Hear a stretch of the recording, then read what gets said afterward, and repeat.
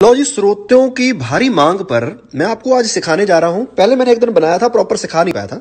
तो मैं मैं, मैं एक बात बताना चाहता हूँ आपको सबसे पहले ये बहुत टेस्टी बनता है।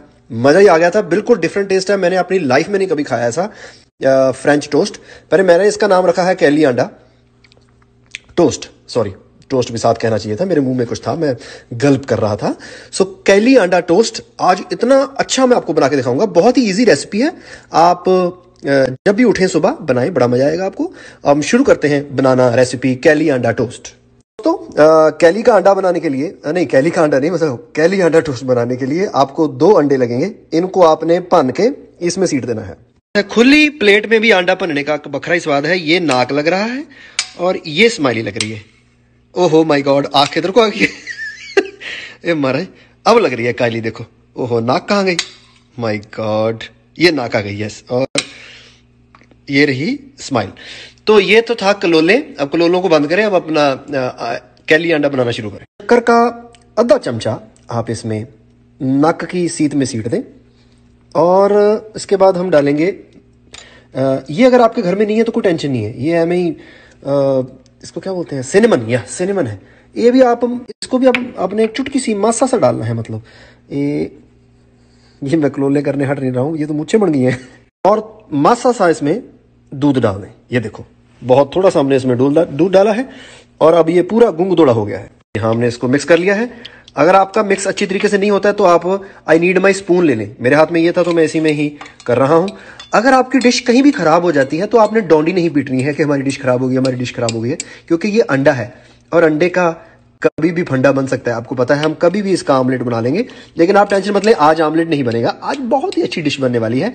आप देखते जाए। बारी आती है मखना सॉरी बटर बटर मक्खन होता है कि मक्खन बटर होता है? ये भी आप ज़रूर हमें बताएँ। आपने एक बटर की चौरस टिक्की को फ्राई पैन में सीट लेना है। उसके बाद चुरलू से इसको चारों तरफ़ घुमाते हुए आपने पूरा केरे केरे में इसको कवर कर लेना है। आपने अपनी ब्रेड को चकना है और इसमें ऐसे ऐसे कर लेना है। थोड़ी सी ब्रेड के कुतकुतरियाँ करनी है। नहीं, ये मैं ड्रामा कर रहा हूँ। आपने इसको ना दोनों तरफ़ से पूरा लबेड़ लेना है। ये देखो, लिबड़ रही है पूरी। मुझे लगता है दो अंडे दो जन के लिए पर्याप्त है। एक जन के लिए एक अंडा पर्याप्त होगा। सो ये आपने ऐसे इसको काठा कर लेना है। बाद आपने ये चुरलू लेना है। इस चुरलू का मुझे नाम नहीं पता है, लेकिन ये ऐसे होता है चुरलू। ये दोनों चीज़ें जब काठी होती हैं तो चीज़ चाकी जाती है। ओ माय गॉड थोड़ा ध्यान रखना है। आपकी ब्रेड पोली हो सकती है। ओ माय गॉड अब मैं थोड़ा बंद करके चकूँगा तो जी फाइनली हमने इसको इधर ट्रांसफ़र कर लिया है। बड़ा ही भारी सौदा था। मुझे तो सांस फूल गई है इसको चाकते चाकते। अब मैं इसको चाक के उधरले पास रख लूँगा। गाइस मेरे एक हाथ में फ़ोन है।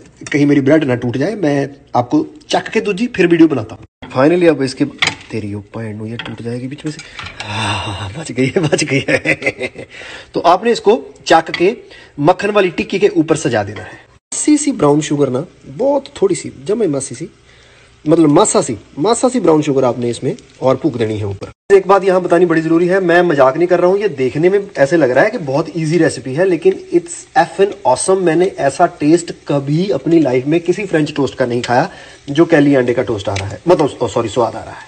कि इसका बी साइड उसको भी हम ऐसे ही काठा करके उसको भी हम पकाएँगे और इसके ऊपर भी मासा सी ब्राउन शुगर पूकेंगे मासा सी, इसमें भी मैंने पूक दी है अपनी, क्या कहते हैं ब्राउन शुगर अरे, ये काला काला क्या हो गया है? कोई नहीं कोई नहीं। इसको आप इससे काठा कर लें। सो so गाइज़ जो हेल्थ कॉन्शियस है, वो इस रेसिपी से दूर रहे, क्योंकि ये प्यार का मामला है। ये प्यार और टेस्ट से बनती है और प्यार टेस्ट के सामने हेल्थ कॉन्शियस जो है वो टिकती नहीं है वो भग जाती है।